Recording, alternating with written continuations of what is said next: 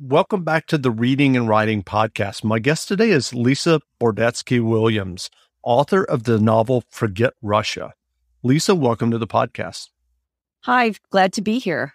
Sure. Well, if someone hasn't yet heard about your novel, Forget Russia, how would you describe the novel? Great question. Well, Forget Russia, it's a historical novel and it deals with three generations of Russian Jews traveling back and forth from America to the Soviet Union, and sometimes it's Russia during the course of the 20th century. And it really looks at that nature of journey because each journey is about self transformation and, uh, the, the nature of journey and the, the nature of leaving one's home and always longing for it. So I think my novel, you know, s- speaks to that very specifically. The, that experience of where anyone comes from, they, they, they, they long to return in some way, whether it's three generations ago, one generation, or they themselves, you know, have, have come. And it looks at the idea of inherited violence. What do hate crimes do across the generations? Particularly in my novel, I look at women.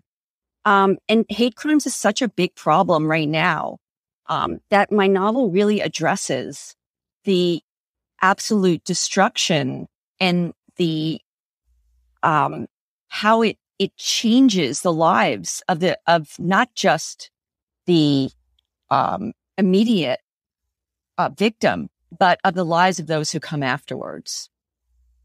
Well, do you remember the original idea or impetus that led you to writing Forget Russia? Sure, sure. I I spent um, you know, over 10 years researching the novel. And it's really, in a sense, it's kind of like my life's work. I had this very unusual experience in 1980. Um, I was able to be a student. I was a Russian language and literature major in Moscow in 1980 in the height of the Cold War. And I met, in a sense, the grandchildren of the Bolsheviks leaders. Um, and they were young. Um, many of them were Soviet Jews. Some were not Jewish. Um, and they couldn't get out. Um, and they were suffering from a lot of persecution there. And as an American, I'd really never witnessed that before. I went to the Soviet Union feeling like, oh, all this like negativity about it. Um, you know, I don't want to get swayed by it. But what I learned from being there, one was this you know, incredible heroism and courage of the people I met. And also, you know, my grandparents had left and they even, they actually returned. They, one left before the revolution, one left after. They actually returned in 1931 to build the revolution. Um, and it was in the height of the depression here. And then they came all the way back here. So these multiple, eh, multiple, multiple journeys that I'm exploring, but somehow I was looking at the nature of destiny that somehow you know, their grandparents had stayed and many of them had been murdered by Stalin or exiled in, in gulags. Um, and then somehow my grandparents had stayed and, you know, we were really, it was a very amazing meeting, um, of, of us. Um, there's an, I just want to, I think sums up by this quote by this uh, Ludmila Ulitskaya is a contemporary uh, Russian writer. And she says, it's fascinating to trace the trajectories of people destined to meet. And that's the way I felt. And in a sense, I really spent many, many years um, trying to distill this experience. Um, my own um, great grandmother was raped and murdered in a pogrom in in Russia, um, and to try and distill the, this this incredible multi generational experience. And I chose a novel form to do so. Well, what kind of research did you do while you were writing your novel, Forget Russia? Well, you know, I knew the outline of the story. Of course, I'm really glad in terms of the Moscow sections. Um, it's very much based on my experiences there. Um, but my um, great grandmother, Zlata, um, she was in the Ukraine, um, in a, and my grandmother, Sarah, they were in a, a small shtetl called Gornostaypol. And I had to really research that one, the history of the Ukraine. So the actually the civil war after the Bolshevik Revolution, there was a civil war. Um, there the white armies and uh, Ukrainian nationalists. They, they wanted the Bolsheviks out. And for a time, the, these different factions that were warring with each other, but all united against the Bolsheviks, they were also all united that they hated the Jews. They took control of the Ukraine. Finally, in 1921, the Bolsheviks were able to reestablish control of the Ukraine. So that was a lot of research. And what happened was the defeated armies blamed the Jews and they went into these shtetls and they just, you know, massacred and murdered people. Um, and that was when my great grandmother Zlata, you know, lost her life in a very brutal way. My, my grandmother Sarah had already been deserted by her father. Um, before the revolution, he came to America, said he'd send for them and never did. In fact, he sent a letter of divorce. So, you know, she takes that first journey uh, uh as a, as a motherless uh, and almost orphaned uh, young woman at, at, at age 16. She's not even a young woman. She's still a girl. Um, cause her uncle had located her father and she comes all the way to America. So I did a lot of research into the Ukraine. And the other thing I did a lot of research, I think the most unusual part of my novel is the story of those American Jews and other Americans who went to the Soviet Union in 1931 in the height of the depression in the 19 early 1930s to build the revolution. And i did an enormous amount of research into that you know where they would have lived what it was like and you know when they first got there they were really welcomed. There was even an american baseball team that was established and i think it could have been very exciting as a young person. I, I mean it was the living conditions were not easy but you know people were so idealistic. But you know if you didn't leave by about 1936, 1937, you, there's a good chance you were not going to get out of there and you were going to get stuck there. And uh, it could, many, um, at least 200 Black Americans went to the Soviet Union to escape American racism. And, um, you know, there was one story I read about a Mr. Robinson who, uh, came, uh, Ford Motors had a, had a plant in the Soviet Union. He was from Detroit. He could make more money. Uh, at Ford, he was just, you know, wanted to get away from American racism. But then they, the people in the factory, they, they like elected him to be um, some kind of official, which he didn't even ask for. And the American government revoked his citizenship. It took him about 50 years to get back into the country. Um, so, but a, a lot of people couldn't get out because the purges of 1936 to 38, the height of them, that Stalin just terrorized the country. And all of a sudden, if you had any foreign connection, you were now very suspect and in trouble. So, um, in a sense, my, my family was very lucky that they left. Um, my, it was my grandmother, my, my, my grandfather, and they, they, this based on family history. My mother, who was five, and my aunt, who was three, um, it's kind of amazing. They took them all the way to the Soviet Union in 1931 and then came wow. all the way back nine months later because they would have lost their citizenship, U.S. citizenship as well, and never gotten out of there. So it really looked at that kind of intense nature of journey.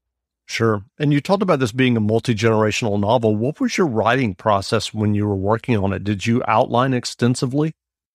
I did a lot of writing and rewriting and rewriting and rewriting and retyping the manuscript and retyping the manuscript. And I think it was very ambitious. And I took a lot of workshops and I was in a writing group. So it took me a long time. Um, it actually originally started as an as a memoir a long, long time ago. And I, as I researched more and more, I really wanted to um, capture that kind of multi generational and I didn't know the details, obviously, of what happened in the Ukraine or what happened in 1931 in terms of my own family. So it was better to do the research and write it um, as a novel because there are also different fictional kind of techniques I use to link all these stories together without giving it away. Um, but I, I, worked on it for a very long time. I mean, um, certainly the last 15 years I worked on it, you know, I also teach full time, which I love at Ramapo College of New Jersey. So sometimes I'd like wake up at five in the morning and, um, the summers. Um, I do think I realized I had to work on it every day, even if I couldn't devote lots and lots of time because if I skipped a day, it seemed like I would lose three days. It would take me three more days to get back into the kind of fictional world that I had entered. Well, well, given that experience that you just described of of taking workshops and writing and rewriting and and finally um, finishing and polishing your novel, what what writing advice would you offer for those who are working on their own stories and novels? Okay, great question. I would say one, you know, write every day, even if you're like there's some days that you're just so busy, even just a little bit, just read it over and just add something to it. So the next day when you have more time, you don't lose all that time getting back into it. It'll just keep it going and just keep persevering because I wrote it so many, so many times. And I think that is the process actually, And it just takes a lot of reworking it and retyping it out and just, just trying different things and just keep persevering at it. Um, don't give up on it. Were were there um were there writers or other novels that kind of inspired you as you were working on Forget Russia? Sure. Um, well, first of all, Julius Lester, um, who taught at the University of Massachusetts, uh, who has written many, many books. Um, unfortunately, he passed away a few years ago. Was a tremendous mentor to me um, from way back. Um, I think his encouragement to me as a writer stayed with me my entire life. And then I had the unbelievable experience of studying with this wonderful um, Jewish woman's writer.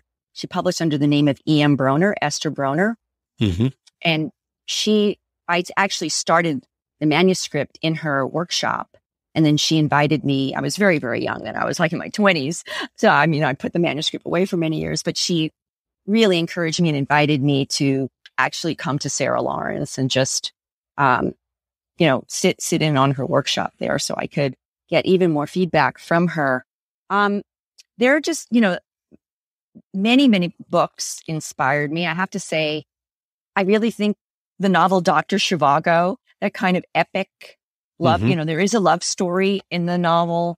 Um, and I think all novels about Russia probably could use a love story.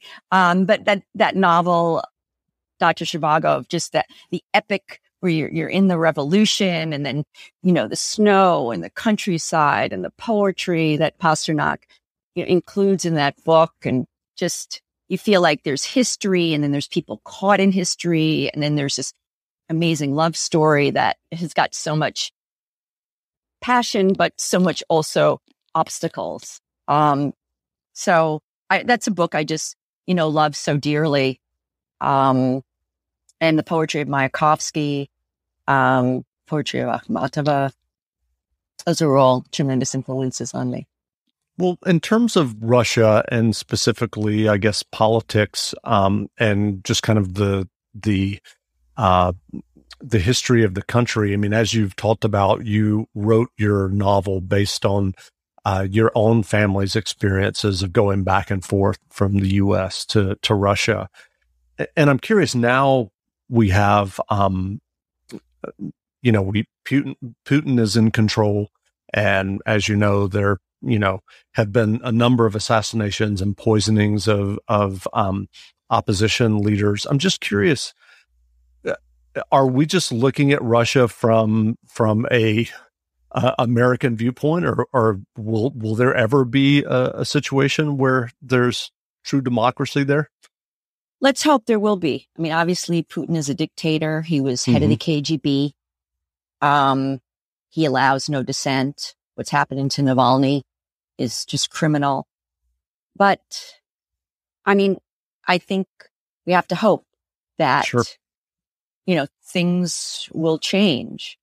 Um, but yeah, I mean, it's, uh, certainly there's no democracy there under him and he's, he's a bad guy. there's right, no doubt right. about it. um, you know, um, but I, I think in calling the novel Forget Russia, I mean, the c- culture and the literature and the poetry and music of Russia. I mean, I felt like my grandparents, you know, my never really could forget it. And even mm-hmm. my grandmother, who had a, such a uh, lost her mother in in this brutal way, um, when she was old and blind, um, she really spent her days actually singing Russian love songs to herself to just kind of keep her keep her alert and that was where she returned to. And i thought that was what was really incredible and i felt like the people i met were so amazing. I mean mm-hmm. Uh, the the novel starts off with uh, the first line of it is your problem is you have a russian soul. You know anna's mother tells her that as she's a she, anna's thinking about that as she's boarding the plane. She's terrified. She's all of 20 22 or 23 she's never left the country before. Um, but that what is that russian soul? I remember um, you know, when I went there, people would ask, you know, what would you live for? What would you die for? You know, it was just, and also the people I met, I mean, even though, I mean, they were kind of dissident types, um, some of them were refuseniks, meaning they had applied to leave and then they lost their jobs. They, um, just, they were very punished and then they, they mm-hmm. get refused. So they couldn't leave.